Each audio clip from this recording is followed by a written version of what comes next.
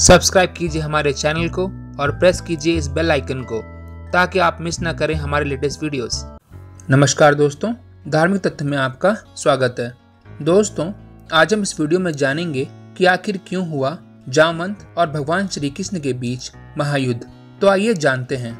पौराणिक कथाओं के अनुसार, एक बार सत्राजीत ने भगवान सूर्य की उपासना की, जिससे प्रसन्न होकर उन्होंने अपनी शमंतक नाम की मणि उसे दे दी।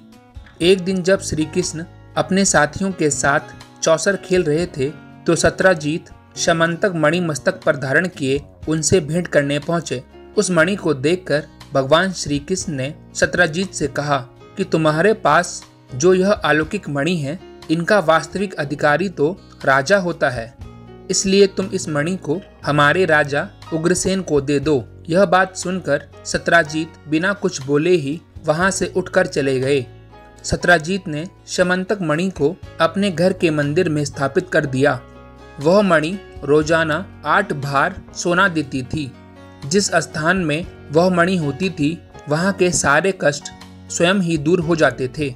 एक दिन सत्राजीत का भाई प्रसन्नजीत उस मणि को पहनकर घोड़े पर सवार हो आखिर के लिए गया।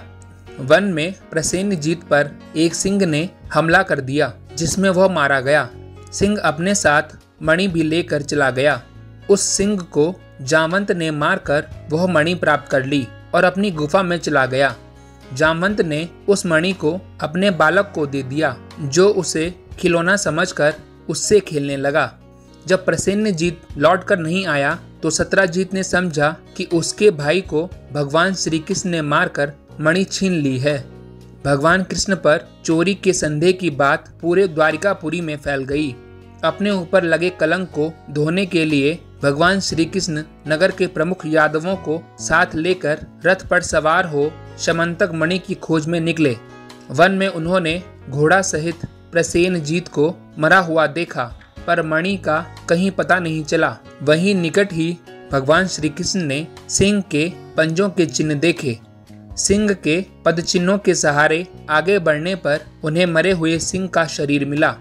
वहाँ पर रीछ के पैरों के पद चिन्ह भी मिले, जो कि एक गुफा तक गए थे। जब भगवान श्री कृष्ण उस भयंकर गुफा के निकट पहुँचे, तब भगवान श्री कृष्ण ने यादवों से कहा कि तुम लोग यहीं रुको, मैं इस गुफा में प्रवेश कर मणि ले जाने वाले का पता लगाता हूँ। इतना कहकर वे सभी यादवों को गुफा के मुख पर छोड़कर उस गुफा के भीतर चले गए। वहाँ जाकर उन्होंने देखा कि वह मणि एक रीछ के बालक के पास है, जो उसे हाथ में लिए खेल रहा था। भगवान श्री कृष्ण ने उस मणि को उठा लिया। यह देखकर जामवंत अत्यंत क्रोधित होकर भगवान श्री कृष्ण को मारने के लिए झपटा।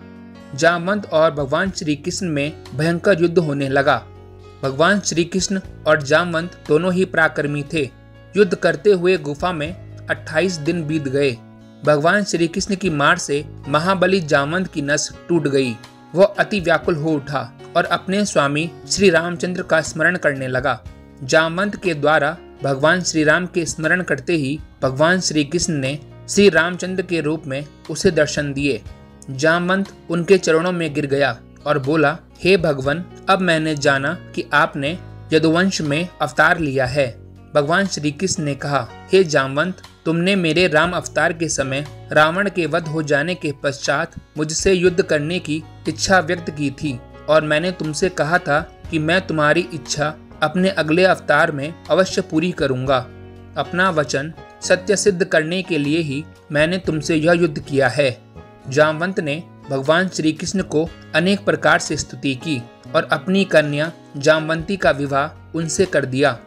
भगवान श्री कृष्ण जामवंती को साथ लेकर द्वारिकापुरी पहुँचे। उनके वापस आने से पूरी द्वारिकापुरी में प्रसन्नता की लहर दौड़ गई। भगवान श्री कृष्ण ने सत्राजीत को बुलवाकर उसकी मणि उसे वापस कर दी। सत्राजीत अपने द्वारा भगवान श्री कृष्ण पर लगाए गए झूठे कलंक के कारण अति लज्जित हुआ और पश्चाताप करने लगा। प्रायश्चित के रूप में सत्राजीत ने अपनी कन्या सत्यभामा का विवाह भगवान श्री कृष्ण के साथ कर दिया। और वह मणि भी उन्हें दहेज में दे दी।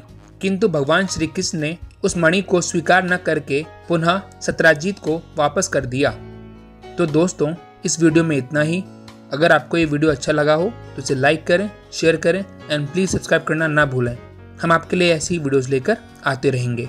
नमस्कार।